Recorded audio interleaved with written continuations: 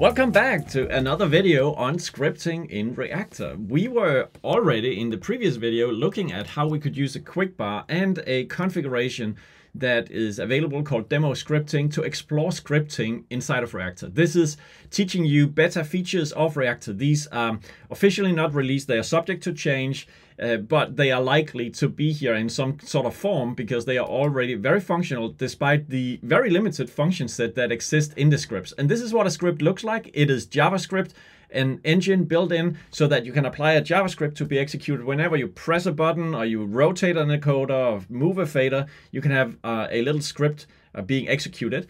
And then uh, it also can be running on layers like a, um, a background process. And we'll cover these things in these videos. But we got so far that in the first video, we already looked at how we can um, have these scripts running. So we did that for two buttons on the configuration for the quick bar here. So if we um, click a button like this one, we click show more, then you see something called event script. And an event script is executed every time the behavior receives the trigger of any type. So let's just press this one. You can see this is what the first script we looked at looks like. And then if we take the second button, we had a little bit of a more complex one that looked like this in the editor and that would rotate the labels of the display. So if we go to simulation mode, I press this down, you can see that it's rotating the label of the button here. Nice. In this video, we'll implement a feature the ATEM switcher doesn't have in itself, and that is enabling the keyer, turning the keyer on by a transition. Normally, if you just click the on-air button, you know, the keyer is turned on or it's off, but we want it to transition with a nice transition. Well, the thing is, this requires multiple steps, and scripting is great for doing exactly that because we can wait for the execution of uh, other steps before we take the next one and so on. And what we basically need to do in a script right now is this. Enable this key um, next transition button, then we disable this one. So when we press the auto button, we transition the key on, then we enable the background again and we turn this one off. Because if I, if I press auto right now, I get an auto transition between the two sources. But if I do it when only the key is on like that, I only transition the key on and off. And that's what we want, okay? So that's what our script will be doing. And this is also how we can basically monitor what is going to happen as we execute this. So let's move over to the configuration again. And this is what the third button does, the scripted button number three. In our configuration, this is the behavior called scripted button three. It's right there. And let's look at the content of this one. Well, first of all, we see there's a, um, a constant apparently in place here. But if we look at the... Um, the configuration, we also see we have more or less the same as before. We have a pink background color for the button. We have conditional feedback that will show us when the script is running. That's all good and fine. We have the script in itself, which looks pretty long and so on. But let's just check the JSON code out because that gives us everything in a concise view so we can see everything that has been defined. Um, actually, one thing we have not seen in the previous ones is this constant. So the constant is something that is made to make this behavior um, kind of flexible so that we could copy the behavior or we could create a master behavior and then just change the constant to indicate which upstream key we are using. We need to change this number from 2 to 1 because we have only upstream key number 1 on our ATEM Mini over here. Apart from that, we have the event script right here. It has a max runtime of 10 seconds. And then we have the standard default feedback with the label and so on. I don't think there's a lot to say about that. Let's read the description. On button down trigger, the script will simulate an auto transition for the selected upstream key defined by the constants from the selected ME row defined by a variable. Ah, defined by a variable. Nice, interesting. But let's check a look, uh, take a look at the script itself. So um, we'll just open it in the editor. Let's close down the old editor here and then open it over here. Format the code. And then let's let's go through this. First of all, we can define functions in our scripting. So there's a function called usk label that depending on a value a, if that is zero, it gives us background. Otherwise, usk plus the name of the um, variable. I wonder where that is being used, but I can, if I highlight it, press Command E, then I can um, uh, see that it's also used down here in line, line, uh, line number 19. So this is being used for the console logging output. So we can keep an eye out from that for that, I guess. That would be nice and useful. Okay. Um, but let's let's move on and see what's going on here. Like we have seen before in the previous video, there is an event um, that activates the script, and we are looking to see if that event is a binary event and if the button was pressed down. And only in that case will we actually work with this behavior. Then the next thing we do is that we get the um, IO reference value of the constant. So here behavior colon const colon USK, you might have seen that in other videos where we are using IO references to refer to constants in the behavior and we can do the same in the script. We get that value out as an integer, then we print it to the console so we can check it.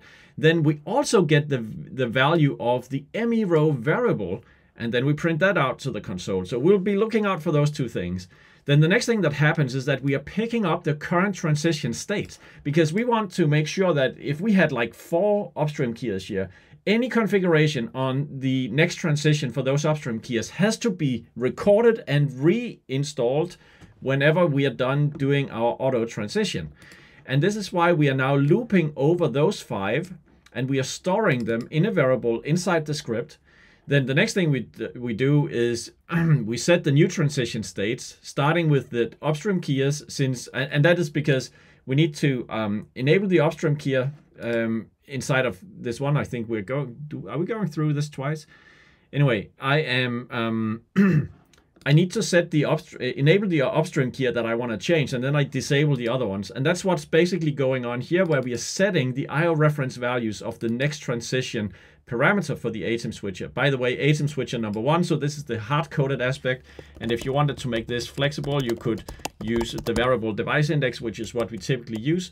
But we'll just continue today with the um, uh, what uh, has um, what is in this um, demo script. Then you can see how we construct the IO reference by first we need the ME row here, and then finally we need the upstream key uh, indicator or upstream key number which is the number A plus 1 in this case. Um, yes, because it starts at 0 and goes up to 5, and I guess number 5 is probably the background. Something that can be checked. Oh, wait, probably 0 is the background, but um, nah, now I'm confused. Anyway, if I wanted to know this, because you might ask, ask yourself, how do you know, Kasper, that this is the next transition, next transition on your ATEM switch that you're changing? Well, this is something that if you go into the home tab and you go up to the little pencil for the device core, you click parameter list. This is where you get all that good stuff from. So let's just search up transition next transition and see what's uh, happening here. We see that's the parameter I'm talking about, and it has two dimensions, so that means two parameters after the slashes.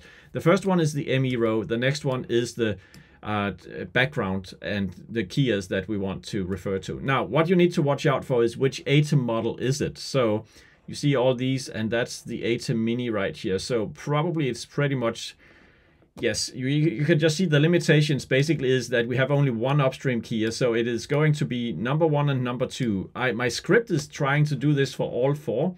And this is why you find in the script itself, if you go back here, you can see that it is actually checking if the value is dash dash dash because the value dash dash dash is uh, one that is no wait this is how this is what we store. Um but maybe it's because it's getting stored next transition state. Ah yeah it's because it's coming back here. When I'm referring by this one with the ME and also the keyer by going through all five to record the states, I would get the value dash dash dash in the case that the parameter actually doesn't exist. And this is my way of then detecting, did I record a state from a key that doesn't exist? In that case, I'm not gonna do anything to it. Um, okay, but I'm setting that IO reference, then I'm, um, what am I doing? I'm basically going through a loop here where I'm waiting to check if it gets set. In other words, I'm reading the value back to make sure that it happened. And if it happens, then I am breaking out of this loop and moving on to the next one. So I'm checking all the time. I'm not just blindly sending these off. I'm actually making sure that my manipulation of the key is happening according to my intention. Then after having done that, I'm executing the auto. Once again, if you want to see that the, um, it, you, yeah, it's actually right there. That's the, that's the parameter, the auto um, trigger, if, if I want to set that. You have it right there. I'm executing that. I'm just sleeping for 100 milliseconds. um, waiting for the transition to complete by basically checking here if the transition in transition, which is a parameter, let's just search that one up, is um, that is indicating it's it's a binary feedback and you can't control it. So this is a flag in the ATEM switcher that will tell you whether you are in the middle of a transition or not. And if you are, then um, uh, we are we are basically waiting for that to complete. And when that's complete, we are out here on the other side, and now we are returning the transition state back to the normal.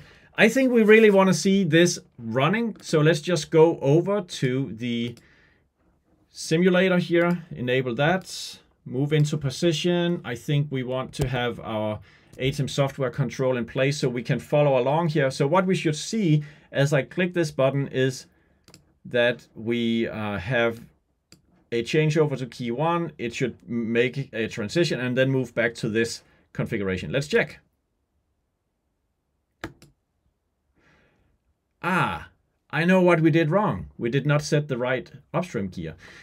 In the meantime, let's just check the logs because in the logs we should see things like this. You can see that it is saying to us, it's telling us that we um, are using upstream key number two, which doesn't exist, we have the ME row from variable, um, ME row number one from a variable, and that variable is this one down here. It is one right now.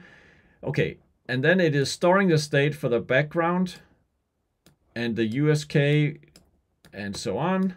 And it's changing from true to false. Got error for parameter because it doesn't exist, blah, blah, blah. So a number of things is not really working out the way we want. But if we change that value to one, it should all be good. So now let's check this out once again. Let's just go back here to the ATEM control so we can see that and click the button. All right, just watch it happening. All these actions happening in just one button click by our little script. All right. So, um, yeah, See, what I just managed to do right there is to stop the script from executing. But notice that, okay, let's just try it again. Um, when I press this button and I click the stop, uh, the auto button here, I stop it in the middle of the transition. So the script will be basically caught in its own loop right here. It is constantly just waiting for the transition to complete and it never gets out of this loop. In other words, it's never going to restore the next transitions up here. But at the end of it all, it will stop the script execution because it was set to timeout after 10 seconds, okay?